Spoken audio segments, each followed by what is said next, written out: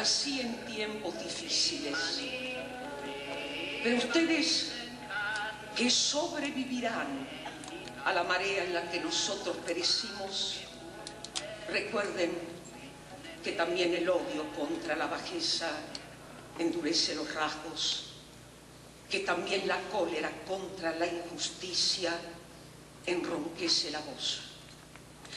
Nosotros que quisimos preparar el camino para la bondad, no pudimos ser bondadosos. Pero ustedes que vivirán en el momento en que el hombre va a ser un amigo del hombre, traten de recordarnos con indulgencia. Gracias.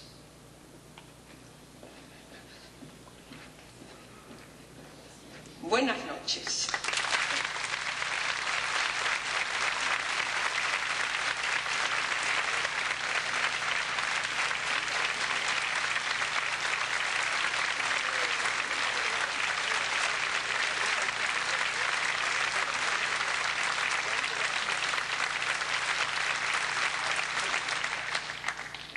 Shalom.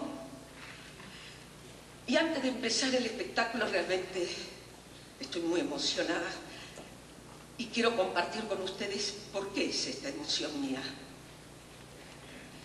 El 21 de septiembre de 1957 yo estaba sentada ahí, en la séptima fila, viendo el D-Book con Hannah Romina.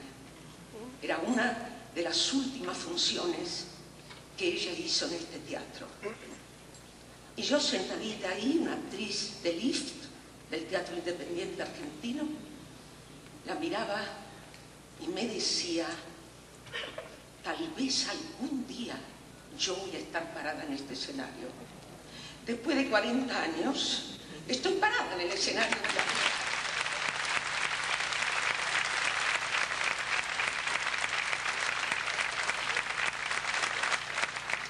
Pero no estoy sola.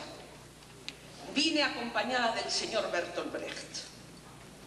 Me preguntan, ¿por qué Brecht? ¿Y por qué pienso?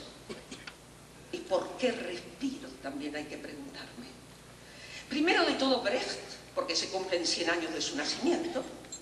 Segundo, porque también en ese mismo año 57 yo estaba sentada en el teatro de Bertolt Brecht viendo esa noche, creo que Madre Coraje. Éramos todo un grupo de actores argentinos y entre ellos estaba Carlos Gandolfo, que ustedes lo conocen, el director. Y nos dijo a todos, chicos, miren bien, guárdenselo en la memoria, porque nosotros a Berlín no vamos a volver y ellos a la Argentina no van a venir.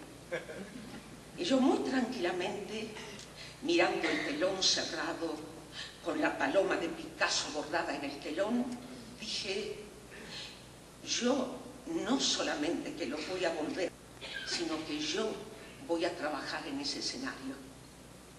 14 meses después, con un bebé de 40 días que se tenía que haber llamado Bertoldo, porque yo quería que sea un chico, pero salió una nena que se llama Kaiser, Paloma, yo estaba parada en el escenario del Berliner Ensemble. Y de ahí toda mi relación con él. Y para simplificar la presentación, es porque Brecht es la continuación, la prolongación de mi papá. Pensaban lo mismo.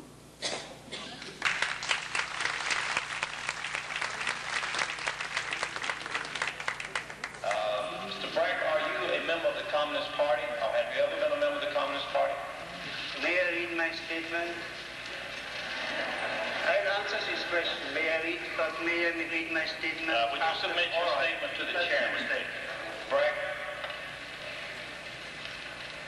Is it true that you have written a number of very revolutionary poems, plays, and other writings? I have uh, written a number of poems, La voz que están escuchando and plays, es la voz de Bertolt Brecht, frente a la Comisión de Actividades Antinorteamericanas de los Estados Unidos es su testimonio y les voy a leer solamente tres preguntas y tres respuestas para que vean que Brecht en la vida usaba la misma ironía, el mismo humor y el mismo sarcasmo que tenía en sus obras. Esto que es Brecht contestando a la Comisión de Asuntos Anticomunistas de Estados Unidos es exactamente lo que van a ver después cuando el bravo soldado Schweik le contesta al oficial nazi. Washington, 1947. Señor Brecht, su nombre completo y dirección actual para el archivo, por favor. Me llamo Bertolt Brecht. Vivo en el 34 oeste de la calle 73, Nueva York. Pero nací en Augsburg, Alemania, el 10 de febrero de 1898. Como dijo, dije 1898. Prosiga. Tuve que abandonar Alemania en 1933 cuando Hitler tomó el poder y me fui a Dinamarca. Pero cuando la guerra parecía inminente en 1939, tuve que ir a Suecia. Me quedé un año y luego Hitler invadió Noruega y Dinamarca y me vi obligado a abandonar Suecia, de donde me fui a Finlandia. Y ahí esperé mucho, pero mucho, mucho, mucho tiempo hasta obtener la visa de los Estados Unidos. Señor Brecht, es verdad que ha escrito un cierto número de poesías, dramas y obras muy revolucionarias. He escrito un gran número de poesías, canciones y dramas en la lucha contra Hitler. Ahora, si luchar para el derrocamiento de ese gobierno nazi es ser revolucionario, sí señor, yo soy un revolucionario. Señor Brecht, ¿es usted autor de un drama titulado Die Meisner? ¿Die Meisner? No recuerdo Meisner. Se lo voy a deletrear. D-I-E-M-A-S-S-N-A-H-M-E. Demásname. Claro que sí. Señor Brecht, ¿no es acaso un drama en que un partido político revolucionario condena a uno de sus miembros por no aceptar la obediencia debida? No. Significa medidas a tomar, pasos a realizar. ¿Podría significar medidas disciplinarias de un partido? No, no, no, no, no.